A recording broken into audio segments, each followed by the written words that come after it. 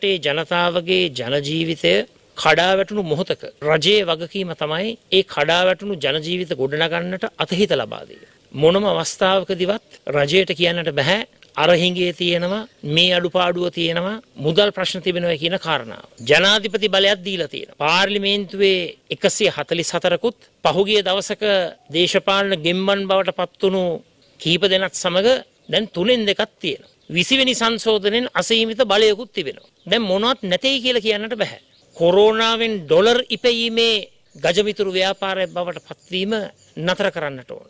අද දවසෙත් සෞඛ්‍ය ඇමතිතුමිය කියනවා සමාජ ව්‍යාප්තියක් නැහැයි කියලා තවමත් තියෙන්නේ පොකුරු ව්‍යාප්තියක් කියලා මං එතුමියකින් ඉල්ලීමක් කරනවා කරුණා කරලා කැටි වලාකුළු වල ඉඳගෙන කොරෝනා මර්ධන වැඩසටහන් ගැන හිතන්නේ නැතුව මහ පොළොවට පය ගහලා රටේ ජනතාව විඳින දුක කොරෝනාවේ යථාර්ථය සත්‍ය අවබෝධ කරගෙන වැඩ කටයුතු කරන්න. පාර්ලිමේන්තුවෙන් දෙන්න ආදර්ශය ජනතාවට කියනවා නම් දුරස්ථ භාවය ගැන පාර්ලිමේන්තුව තුළ දුරස්ථ භාවය ස්ථාපනය කරන්න. පාර්ලිමේන්තුව තුළ නිරෝධායන නීතිරීති ක්‍රියාත්මක කරන්න. එසේ නොවුණු නිසා තමයි පොලිසිය නිර්ධහරියකුත් ඒවගේම මාධ්‍ය ශේෂත්‍රයේ මාධ්‍ය නිලධාරීන් පස් දෙනෙක් පමණ. කොරෝනා නිසා අද අසහනයට පත්වෙලා සිටින්නේ. එනිසා ඇත්ත වශයෙන්ම සෞඛ්‍ය ඇමතිතුමියගේ ප්‍රකාශ සහ ක්‍රියාදාමය අපිටත් රටේ ජනතාවටත් ලොකු කුතුහලයක්.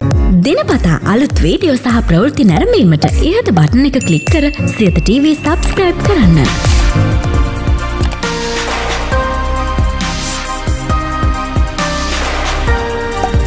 අලුත් වීඩියෝ ගැන මුලින්ම දැනගන්න මෙම සීනුව කලික් කරන්න.